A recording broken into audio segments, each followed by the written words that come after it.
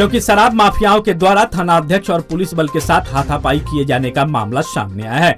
आपको बता दें कि आज दिन के करीब 10 बजे जब थाना अध्यक्ष को सूचना मिली थी कि शराब की बड़ी खेप जाने वाली है तो उसने अपने दल बल के साथ छापेमारी किया और माफियाओं को भी धर दबोचा। लेकिन शराब माफिया पुलिस से हाथ छुड़ाकर भागने में सफल रहा।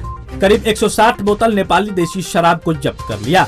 बताते चले कि मुरेट गाँव के ईदगाह के पास असामाजिक तत्वों ने पुलिस को घेर लिया और फिर स्कॉर्पियो में रखी नेपाली देशी शराब को छीनना चाहा। लेकिन पुलिस अपनी चतुराई से शराब के साथ असामाजिक तत्वों की चंगल से निकल आई। जिसके बाद थाना पहुंचकर पुलिस ने अज्ञात शराब माफियाओं पर एफआईआर दर्ज किया। वहीं थाना अध्यक्ष प्रेमराज पुरुषोत्तम देव ने मीडिया को कुछ भी बताने से कतराते नज़र आए।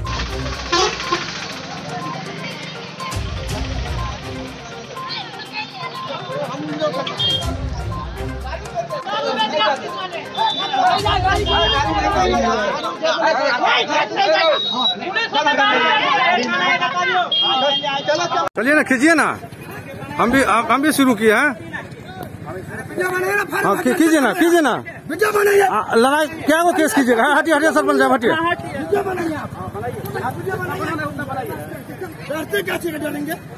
कानून नहीं है तो दारू का ना दारू के हम्म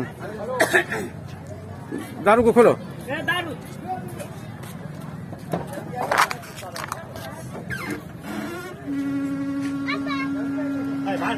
जो जो जो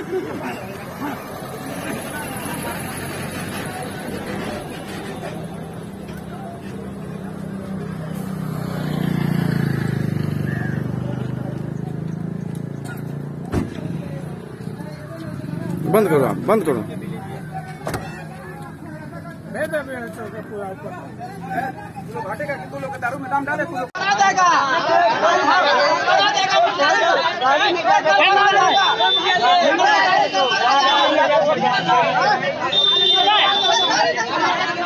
दारू का है दारू का है।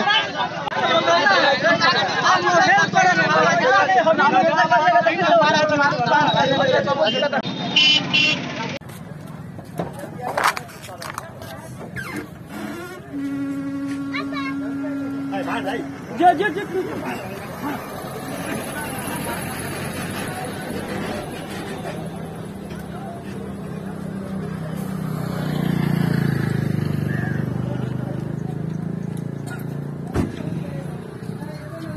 बंद करो आप, बंद करो।